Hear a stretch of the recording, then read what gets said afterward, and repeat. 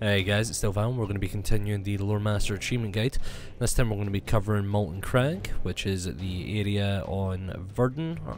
or Viridian, just before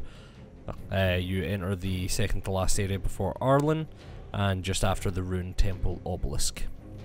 First up, you're going to see the entrance to Molten Crag there. That is, as I said, just past the Rune Temple Obelisk. As soon as you go through it's a small straight line, follow all the way through, and on the right hand side, by the edge of the cliff, you will find your memorial collectible. Now, using the memorial that we just collected as our next guide, you're going to go to the left, follow the path straight ahead towards this big, large drilling pressure machine in the centre, and as you can see, the point of interest is just at the base of it, at the end of the path. Next up, using the point of interest we just collected as our guide, we're going to go to the right of it, go across the small stone bridge through the lava, and you're going to enter this cave just in front of you,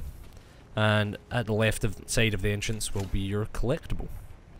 Using the same point of interest as our next guide, we're going to go to the exact same location, cross the bridge past the lava towards the cave entrance, except this time you're going to go to the right hand side of it, and follow the path down a little, and just at the edge of the cliff as your collectible. Next up, using the point of interest again as a collectible, or not collectible guide, you're going to move back a little from it and then take a left. You'll then see a chest on the road, take a left again at this point, you'll see the portal towards the sniper boss in the tundra. As soon as you enter, take a right, and you'll find your Mearstone collectible in the corner. Next up, after you pass by the area where we've been doing all the collecting, you'll come out of that cave there. Once you do, go up to the right hand side, Go across the small stone bridge over the lava, and right next to the obelisk, this one for the lava fields, will be your memorial.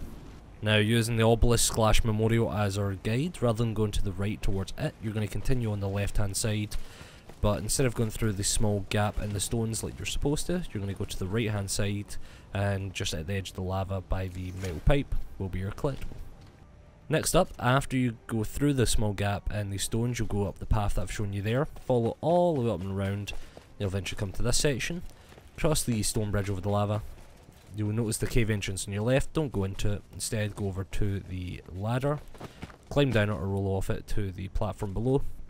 find your last Mearstone. Hopefully this helped, remember to like and share for a friend, and I'll see you in the next one.